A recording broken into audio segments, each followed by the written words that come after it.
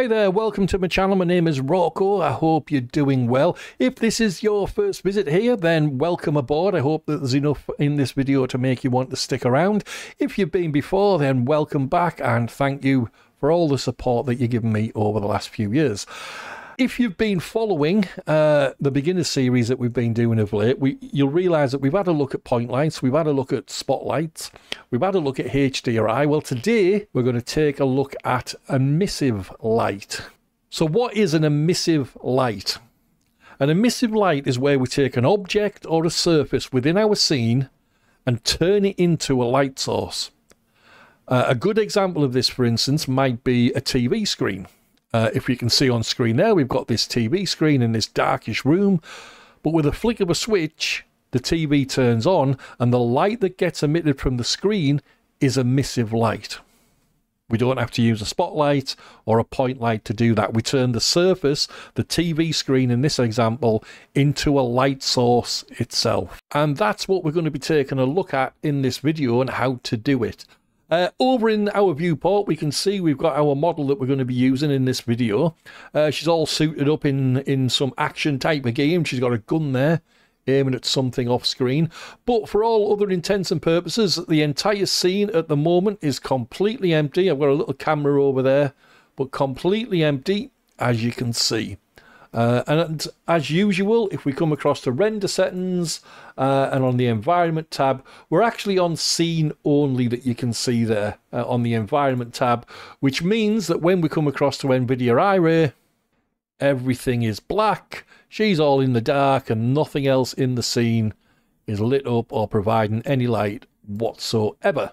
Now, the first thing that we're going to do is we're going to add something into the scene and turn it into an emissive surface. Uh, and then once we've done that, we're going to do something with our model and seeing what all the game is here that what she's doing with a gun pointing out. But the first thing we need to do is know how to turn something into an emissive surface. And to do that, what I'm going to do, I'm going to come up to the create menu, come on down to new primitive. And I'm going to give that a click. We're going to change the type into a sphere for this example and a diameter of one foot is perfectly fine for what I want to do here. We're going to give it a click and then we're going to select it in our scene tab up there and then just position it around to some place and some position that's a little bit more appropriate for what we want to do. So now we've got a model, we've got a sphere. If we come to NVIDIA iRay, everything is still dark and everything is still still black because we still don't have a light source. Uh, and so to turn our sphere into an emissive light, we need it selected in the scene tab. Then we need to come down to our surfaces tab and then click on the sphere where you see it. Now we can do this two ways. We can either scroll down this or the options down here or we can expand out the sphere in the default and we can see there's a little section here called emission. Only one thing in there for now, and that is just something indicating that we've got the colour black. It's emitting a black light. That's basically what it's saying.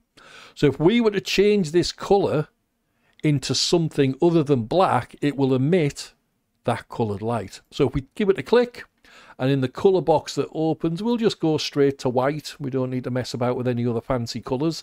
And we'll click OK.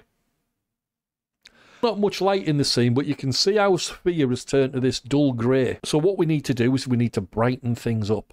Now, as you can see now over on the emission tab out here, we've got a few more options we can play with. They're very familiar to what you'll see with spotlights or point lights. We've got the temperature of the light, how hot or cold it is, whether it's two-sided, uh, and luminance is the main important one that we want to be working with here. It's set at the default 1500 and the luminance units are set at the default CD slash M to the power of 2. Uh, we can keep it at that or we can play around with that, but for now we'll keep it as it is and all that we're going to do, we're just going to increase the luminance. I'm just going to add an extra zero on it and see what we get. Straight away we start to see now our model being lit up ever so slightly by the sphere over there. If we add another zero onto that, then she would be lit up perfectly adequately by this sphere, uh, so much so that we can see what she's doing and see everything about her in the scene.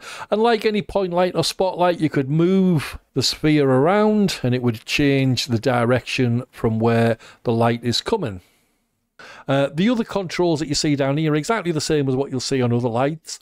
The emission temperature will change the colour of the lights. If we went down to 2000, for instance, it would make it a lot more of a ready light, whereas if we went up the other way to 10,000, it would create a more of a bluey white light that, that you'll find. Uh, likewise, if I just reset that back down to default, if you were to change the emission colour, let's say to a bit of a green light, it would start now to emit a green light over our model. Uh, and if we reset that back to white, we'll end up back where we started from. So just what purpose do emissives have within DAZ 3D. Uh, because let's face it, if we take a look over here, what we've done there could have quite easily have been done with uh, a spotlight or a point light without having to use an emissive. So why would we choose to use an emissive over a spotlight and a point light?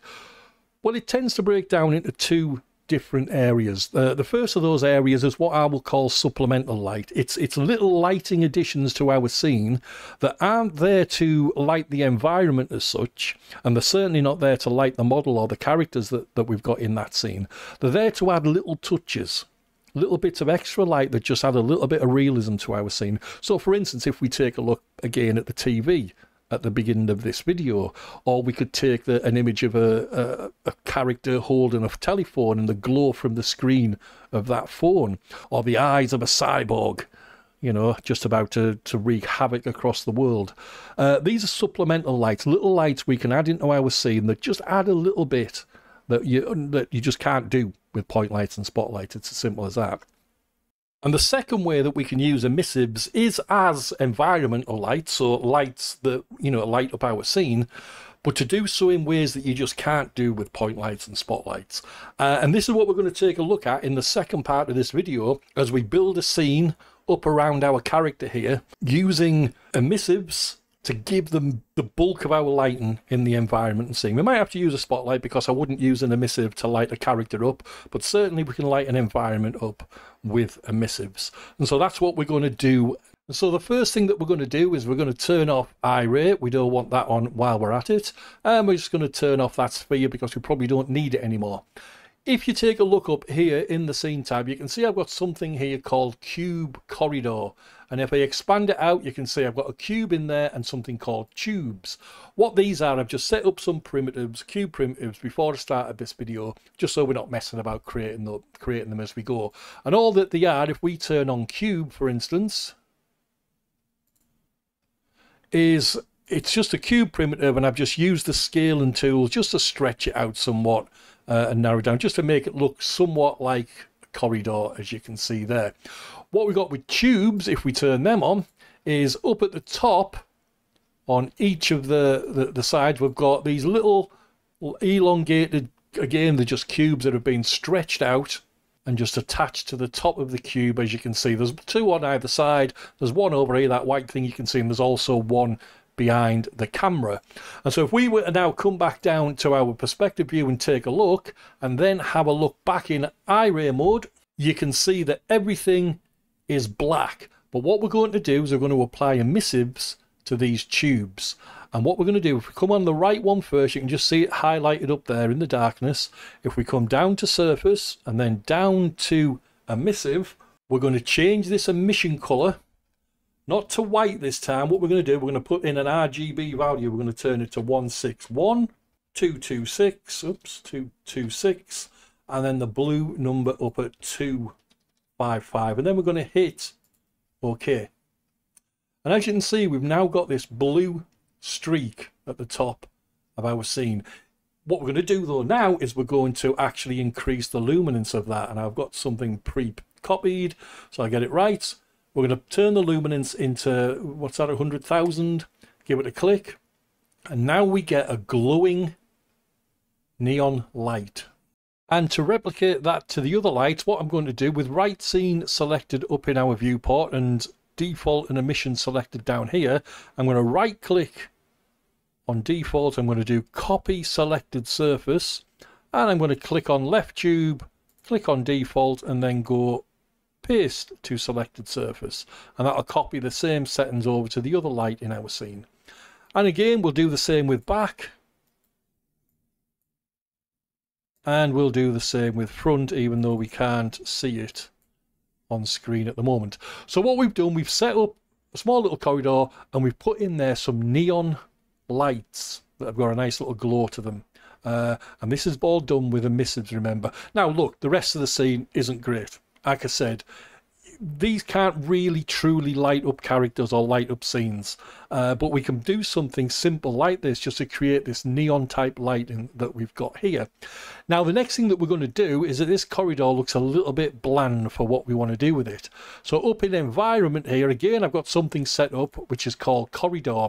These are just some chunks that I've taken from a, a package that I've got on my system. There's no lights involved in them at all. They're just like something to put up against the walls just to make it look a bit more sci-fi. So if I turn that on, you can see now we've got walls up. We've got this looking more like a sci-fi uh, corridor. And you can see our neon light up here providing the light into our scene. Now, another thing I'm going to do before we, we finish off here is there's, I mentioned earlier about supplementals, how we can add extra lights into our scene. Uh, not really going to light up the scene as a, as a, of itself, but we can just little things that we can add in just to make things a little bit better and a little bit more realistic. Now, if we come all the way down here in our corridor, you can see there's a little television there. Now, I've put this television in myself. It's not part of this package that you can see. So if I just one moment come out of iRay mode again, and if we click on this television, it's just a normal television screen I've just taken from another package that I've got, and we come down into surfaces and we expand this out, we see it's got a, a surface called TV screen. And what we're able to do is to apply a texture to that TV screen, turn it into an emissive, and have it glow and give off its own little individual bit of light. And so what we're going to do is we're going to come down to base color on the surface, which is uh, just the color of the texture itself. And we're going to give it a click and we're going to come up to browse at the top and then I'm going to come straight to this thing, this red alert sign that I've got. And I'm going to just double click on there. Now, all that we've done there, we've just applied a texture like you would apply a texture or anything. And if we were to come into NVIDIA iRay, we can see a very dull representation of the texture that we've got there. But if we were to expand texture out and come down to emission and apply that same texture. So what we're doing is we're just pressing that little down arrow, apply this same texture to emissive color, and then turn the emissive color to anything other than white, uh, black, sorry, we'll go white. You can see it's now got a slight glow on it. And if we just increase the luminance, you can see it now glowing as an emissive color. So if we now scroll back, Come all the way back to where uh, our model is. You can see it now glowing in the background behind her, as you can see. And if we were to come over to the camera which I've been using to this, which has got a little, and just incidentally, I just noticed that, you can see the glow up here on the roof and on the walls. This is all coming from this little red alert sign at the back. So if we now come into the camera that I have set up, you can see it in the background. Now because there's a bit of depth of field in it you don't really uh, you know can't really make out the details. That's not the point. The point is we've got this little red glow and it's probably a little too much in truth. I'll just knock the luminance down a little bit. Uh, so we've got this little red glow in the background. Now our model is dark as we mentioned earlier that environment lighting isn't really there to light up models as such. Uh, so what i've also got here in this very scene is a little spotlight, which I've just got set off off here to her. And so if I turn this spotlight on, we start to get the makings of a little fun sci-fi scene, all done by the neon lighting that we've got set up here, and then just putting this little textured emissive on the TV screen at the back. And that looks all right. So that's emissive lighting. Uh, two different ways of using it using it as environmental light that I've done with the neon up here but also supplemental light there in the background. Really start implementing emissives into your scenes if you can. Yes they work better in in cyberpunk scenes or sci-fi scenes uh, but you can always find little places where you can drop them into your scenes to you know just increase the light type of light in the scene but also certainly with a supplemental light you know you can add little effects in there that maybe you wouldn't think of normally. So that is emissive lighting. I hope you enjoyed the video. I hope you got something out of it. If so, give us a like down below. And if you've got any questions about this video or any other aspect of Daz, just drop them in the comments below and I'll get back to you as soon as I possibly can. Thanks for watching. I'll see you next time. Bye bye now.